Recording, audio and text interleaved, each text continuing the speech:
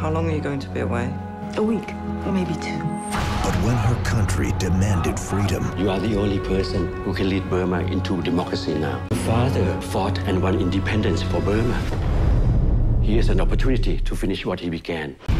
We have always shared a common dream for Burma. I have always considered it to be the very thing that bound us.